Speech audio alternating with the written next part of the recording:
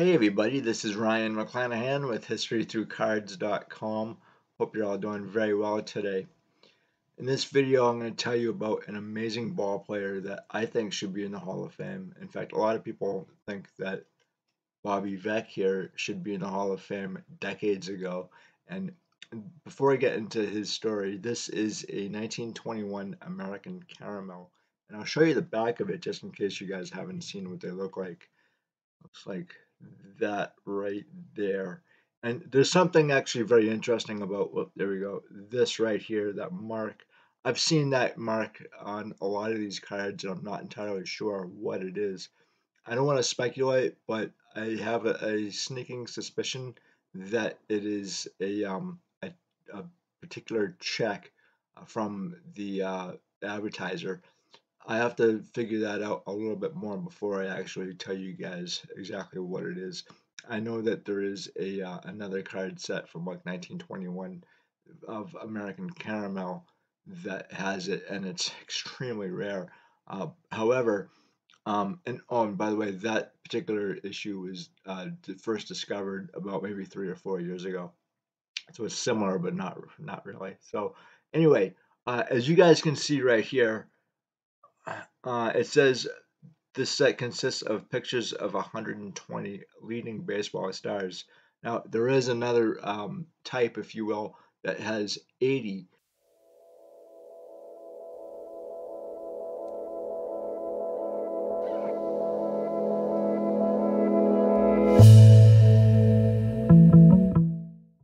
Uh, you have that, but the, also what I think is kind of interesting too is that say like the 1916 M101 uh, series, you have about a dozen advertisers on the backs and they're all coming from the same printer. And I think that's actually the same uh, thing with this particular uh, set. There's probably 15 to 20 different advertisers for uh, whoever printed these cards. I'm still trying to figure that out. I'm, I'm very close. Uh, but the American uh, Caramel is the leading advertiser for whoever uh, printed the set and distributed it. So, you know, again, each uh, advertiser distributed their own sets. Uh, and I think maybe that they just ordered the a, a bulk, if you will, from the, the printer like they did with the 1916 M101. And um, that uh, grouping of cards is a lot similar to the uh, 1909 T206. I, I, will just tell you right off the bat, though, that uh, each one is the same uh, picture, but it, obviously a different advertiser. And there's something that I came across about a dozen years ago that I actually didn't know about. But uh, if you're actually going to collect these, if you're actually going to collect these particular cards, there is another set that looks very very similar. Obviously the the appearance is, is very similar but the back is not and it's a blank backed card. So the way that you're gonna be able to tell that these are 1921 Koester bread cards is the the back they're blank. But also uh, this is uh, Dave Bancroft. He's a Hall of Famer and I, I, won't get into why he got in the Hall of Fame in this video uh, or if he even deserves to be in the Hall of Fame it's a it's an interesting case altogether. But he is a Hall of Famer, and he's with the New York Giants. And the 1921 Koester bread set is from Baltimore, and uh, it was issued, I believe, in about October, around the same time as the World Series, the Yankees versus the Giants. And it's the only two teams that you're going to find within the 1921 Koester Bread series. They are not easy to find at all, and a lot of collectors kind of glaze over them like a donut, if you will. And uh, I I did that too at, one point because I didn't know what they were. I just thought, oh, they're they're blank back cards. Whoop de do, right? Nobody likes a blank back card, really. Uh, but it, it, can be a little confusing for uh, novice collectors, and you know we were all novices at one point in time, and you know the the uh, only way that you don't become a novice is to do your research. And uh, I'll I'll help you guys out as much as I can on this stuff because you know I, I had a great group of uh, older collectors that helped me out too. But I also had to learn about a lot of the stuff on my own. And sometimes the best way to learn is on your own and making mistakes. You should make mistakes, but don't make the same mistakes twice. So I'll, I'll try to help you guys out as much as possible on this. And again, I don't know everything either, and I'm still coming across cards I've never seen before. And a lot of uh, these particular cards and the players I have never seen. So um, I'm kind of like reading about these guys, and one of the guys I read early on was Bobby Veach. There's a lot of people who really think that he does belong in the Hall of Fame, and I'm one of them. This card was not cheap, by the way. Uh, for a guy who's not in the Hall of Fame, I think I paid over 40 bucks for this particular card, and it kind of shows you that you know there are some people out there, uh, collectors who definitely know their stuff, and I'm not the only one, which is great. But again, um, when I, I really wanted to to learn about these players, there's not a whole lot of information out there, and um, even during his time, there's uh, scant uh, articles out there. And so even in his uh, 1945 obituary, I didn't read a whole lot out there. All it said really was that he had passed away and that he was a part of an outfield that included Ty Cobb and Harry Heilmann. And those guys are in the Hall of Fame. Obviously, Ty Cobb, you know, being one of the greatest ball players of his uh, generation, and then Harry Heilmann, who is a Hall of Famer, but unfortunately, a lot of people don't know who Harry Heilmann is. He actually had a uh, a batting average, I believe, once or twice during his career of over 400. So he was an amazing hitter, but he's largely forgotten as well. And this is the one thing that I think why Bobby Veach has been uh, kind of excluded from the Hall of Fame. Uh, even that he has a, uh, a 310 lifetime batting average is that he um, he spent I guess the bulk of his career in the dead ball era from like 1912, and then he retired I think in about 1923 and 1924, and um, you know obviously uh, his his batting average would have been higher had uh, you know he I don't think he and, and Ty Cobb got along all that well, but um, he, he's got an amazing story and what player did get along with Ty Cobb? I can think of maybe one player that got along really well with him, and I, I did a video on him. But again, that's that's neither here nor there. The the problem here, I think, is that he was sandwiched between two really great ball players on the same team, and, and they kind of like overshadowed Bobby Veach's career. And so uh, I'm going to tell you about this in greater detail, and I think you're going to find it really interesting and uh, stick with me and I'll tell you a little bit more on the backside of these articles. This is from the McLean County News, Calhoun, Kentucky, August 22nd, 1991. Veach was little known baseball great by Ken Ward. History seems to have forgotten Bobby Veach, a pair of baseball chroniclers wrote in the early 1980s. Part of one of the greatest outfields in baseball history, the hard-hitting McLean County native was overshadowed by teammate Ty Cobb. Robert Hayes Bobby Veach was born at Iceland on June 29, 1888, son of coal miner Mark and Sally Veach. Of Irish descent, the Veecks had two other sons, John and Will. In the years around 1905, what Robert Kinchloe called kid baseball teams existed around the area. The pitcher for Iceland, a hot shot strike thrower, was Bobby Veach.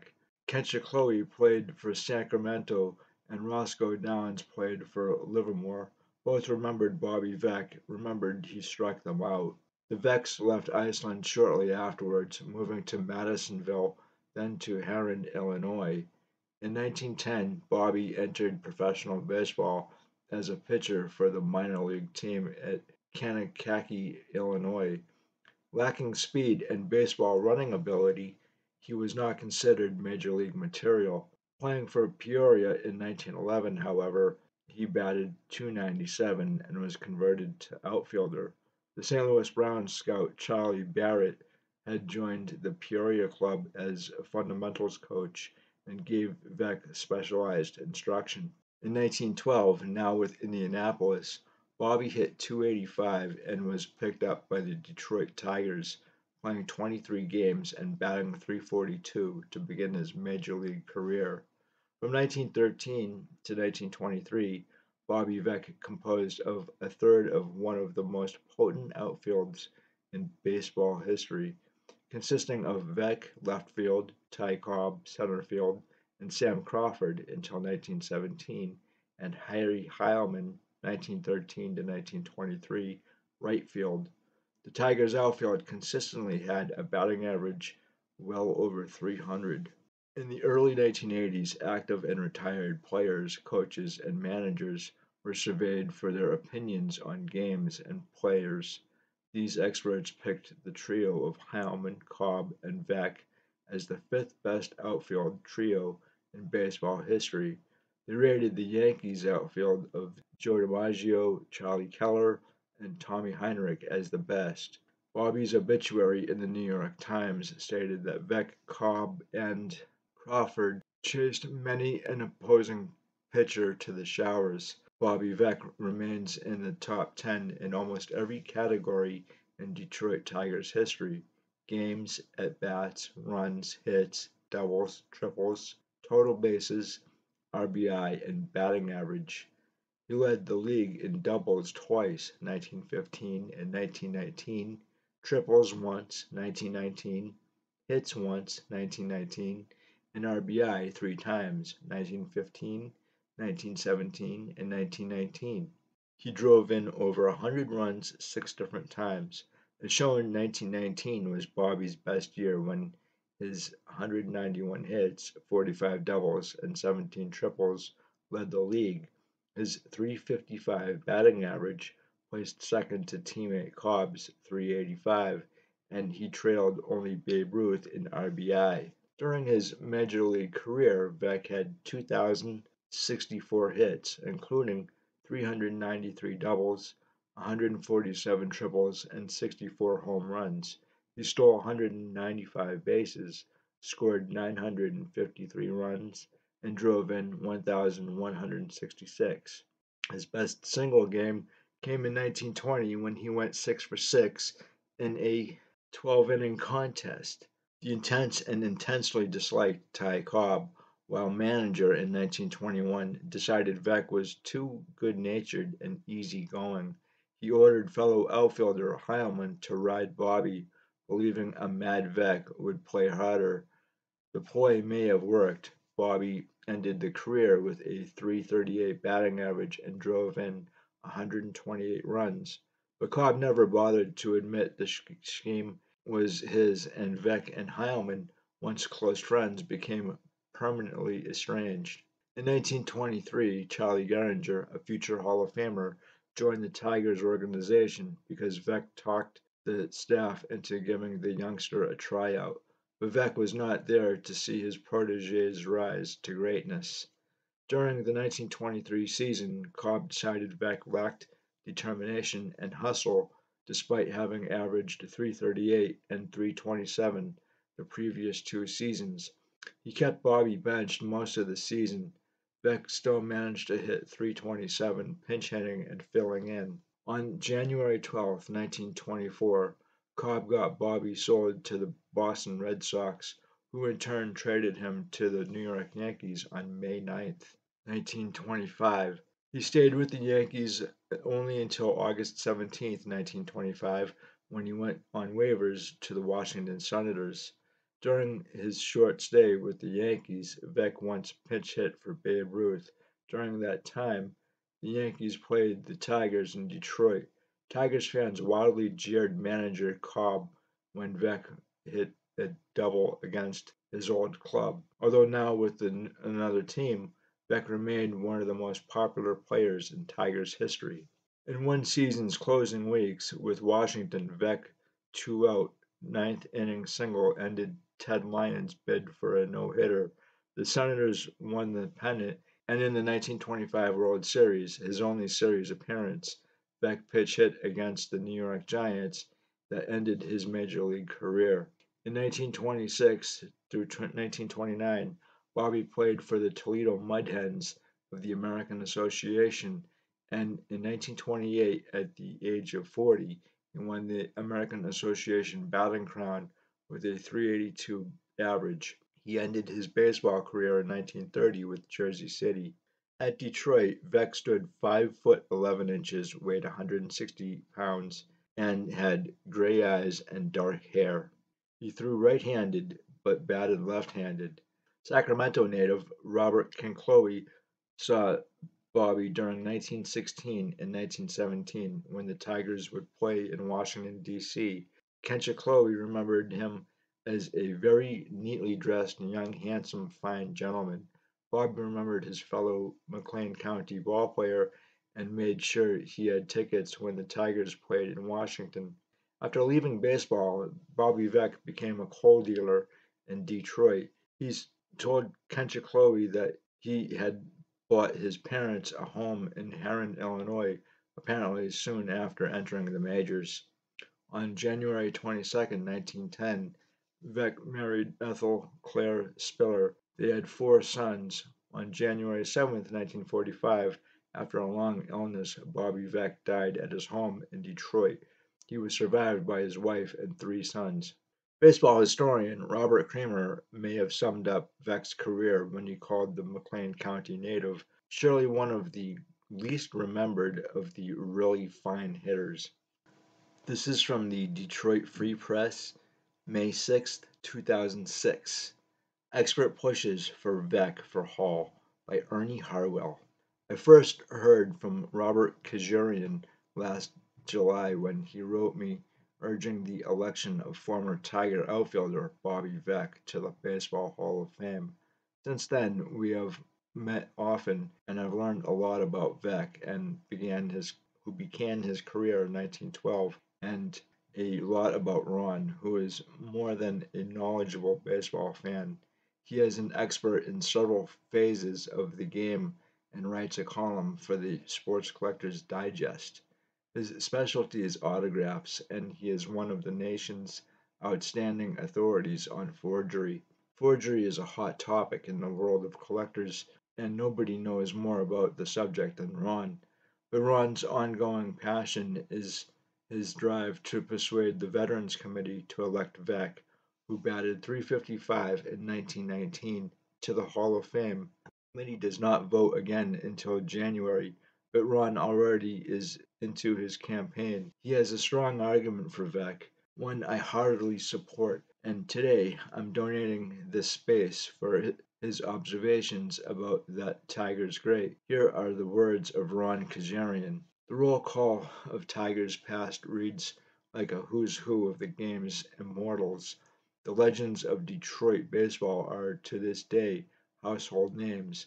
Ty Cobb, Al Kaline, Charlie Gehringer, Bobby Veach, and countless others have left their mark on baseball history. Bobby Veach? Bobby who? If you are asking yourself that, you are not alone. Mention that name, Veach, and the usual response is a blank stare. Veach was one of the early stars of the dead ball era. Long ago, the Detroit club had an arsenal of great players First and foremost among them was Ty Cobb. Now, if you are playing in the same outfield as Cobb, you will tend to be overlooked. Such was the misfortune of the hard-hitting Veach. Time seems to have steamrolled over the memory of Veach, and today the old Tigers warhorse is all but forgotten. Veach is one of those players who patiently waited for the call from the Baseball Hall of Fame. His record certainly speaks for itself. In a career that lasted 14 years, he smacked 2,064 base hits and secured a 310 lifetime batting average. A powerful batsman by trade, Veach captured the American League RBI crown three times. Yet, despite his Hall of Fame numbers, there is no bronze plaque in Cooperstown bearing the name of the great Bobby Veach. New York Giants Hall of Famer Carl Hubbell once summed it up best. I am under the impression that Bobby Veach is in the Hall of Fame, he said. If not, he certainly belongs there. Some day Veach will take his rightful place in Cooperstown alongside Cobb and the rest of baseball's immortals. Some day Bobby Veach will find his way into the Hall of Fame and will be forgotten no more. And then you can contact Ernie Harwell at Detroit Free Press, 600 West Fort Street, Detroit. Uh, but you can't do that anymore unless you uh, contact him by a seance because he's dead. Oh, I'm such a jerk. I'm such a jerk. Uh, and Ernie Harwell is also in the uh, Hall of Fame in the writers' wing. So I, I, was reading an article from 1925 about Bobby Veach's time on the Washington Senators, and this article is right after the Senators lost the World Series to the Pirates. And first off, the Pirates were madmen back in the 1920s. Uh, they're like, well, I would say they're like the 1986 New York Mets of the 1920s. They were just out of control, but they had amazing teams on the uh, the Pirates, and they went to the World Series twice, 1925 and 1927, and they they won in 1925, and a lot of uh, people had actually uh, said that Veach was the reason why the Washington Senators lost. But um, when they spoke to Walter Johnson, he said, you know, that's BS, basically. Uh, Veach really had nothing to do with the uh, the 1925 uh, series loss. And uh, what they had said was that um, somebody was giving out signals uh, to which pitch that Walter Johnson would throw, and and uh, Johnson he had no idea that what he was actually doing was he was handing over signals unintentionally to the Pirates, and that's how the Pirates were able to uh, win the the championship. Now, what they had actually said was that uh, Veach was the one who was uh, giving the uh, the signals to the Pirates that not true at all. It was a uh, a writer who had suggested that, and and then they followed up with Walter Johnson saying that that's not true at all. There's no way that he could have done that. Even he's on our team, um, and that's actually the only World Series that Veach was in. The uh, as good as the Detroit Tigers were back in uh, Veach's era, they didn't get to the World Series um, just because there were you know the, the Yankees and in the Giants for the most part, the Yankees were were um, so stacked that it would be really difficult for for Cobb. And you have to remember too that Cobb is really kind of in a different generation, if you will, of ball players. He's the more the hit and run kind of guy because he's he's dealing more with like uh, how baseball was played during the the uh, dead ball era, and then all of a sudden comes the live ball, and it's a di- completely different game, especially with Babe Ruth coming in and hitting all these home runs. And I, I remember hearing uh, stories or reading stories in the in the press saying, well, "We got to stop all these home runs. Babe Ruth is destroying the game. He's hitting so many home runs. We only have so many baseballs that we can produce." So they were really upset with Babe Ruth hitting all these home runs. But you know, he changed baseball forever and guys like Ty Cobb really couldn't adapt very well. Um, I mean, hitting the ball is one thing, but the crowd, the fans wanted to see Babe Ruth hit home runs, and these guys were just not home run hitters. I thought that was really interesting. As I recall, I think that Bobby Veach only was up for Hall of Fame consideration once in like 1937, and he really is forgotten. It's it's incredible but there are a lot of ball players that we might not know today because we're obviously uh, generations removed from when these players played, and even when they retired, they weren't in the, uh, the news media. And obviously, uh, you know, Bobby Veach, he passed away in 1945. So, um, you know, my grandparents may have actually seen him play. Uh, at least my, my grandfather might have, or my grandmother. I, kind of doubt that though. Uh, my grandmother was really a, a Cardinals fan in the 1920s, um, and I'm not sure if my grandfather actually watched or listened to baseball games. Uh, but I, I, know my grandmother was uh, highly uh, in tune to the St. Louis Cardinals of the 20s and 30s. Uh, that being said, though, um, you know, it is, I think, really difficult uh, for a guy like Bobby Veach to actually get in the Hall of Fame because of his two teammates. Not his fault per se, although reading that article, uh, the first one, Ty Cobb really was a supreme jerk, and there's no two ways about it. And then, you know, Harry Heilmann, uh, it's really too bad uh, that uh, Heilmann and, and Veach they didn't get along after. And I'll, I'll talk about Harry Heilmann in another video. He's obviously in the Hall of Fame, and his stats are just unbelievable, amazing. And it's you know again one of the reasons why Veach is is so forgotten today. You know you do have three people out in the uh, the outfield there, and um, I I would actually love to see Bobby Veach up for Hall of Fame consideration um, by the Veterans Committee again and just see what happens. Uh, anyway, guys, I thought this would be a, a, really nice introduction to Bobby Veach, and I'd love to hear what you guys have to say, whether or not he has the uh, the credentials, if you will, to get into the Hall of Fame, and if you have any of his cards, uh, which one do you like? Um, for me personally, the 1921 American Caramel fits great. I, I like I like the cards. I, I love the uh, the photography in those uh, sets. He also has a uh, 1915 Cracker Jack as well. Those Cracker Jacks are really expensive now. Um, when I was uh, a kid, I could get Cracker Jacks fairly cheap. Today, it's, it's a real struggle. You know, the struggle is real.